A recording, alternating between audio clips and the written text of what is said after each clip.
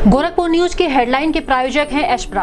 Gorakhpur news के सह प्रायोजक हैं doctor Rana hospital private limited and trauma centre. Lok Sabha सामान्य निर्वाचन को सकुशल स्वतंत्र निष्पक्ष एवं शांतिपूर्ण ढंग से संपन्न कराने के लिए पीठासीन अधिकारियों मतदान कर्मियों को एनएक्सी भवन में दिया गया प्रशिक्षण। जिला निर्वाचन अधिकारी जिलाधिकारी ने कहा सभी पूरी निष्ठा लगन ईमानदारी एवं निष्पक्षता के साथ अपने दायित्वों का प्रत्येक स्तर पर करें निर्वहन।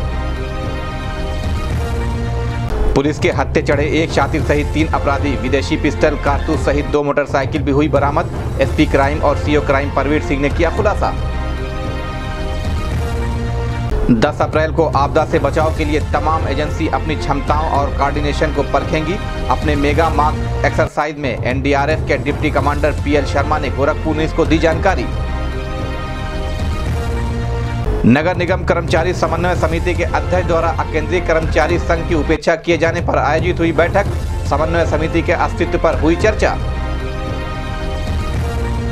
स्वच्छता पखवाड़े के अंतर्गत जिला महिला चिकित्सालय में दिया गया हैंड वॉश करने का प्रशिक्षण। वरिष्ठ महिला डॉक्टर ने बताया हैंड वॉश एवं 5S की उपयोगिता।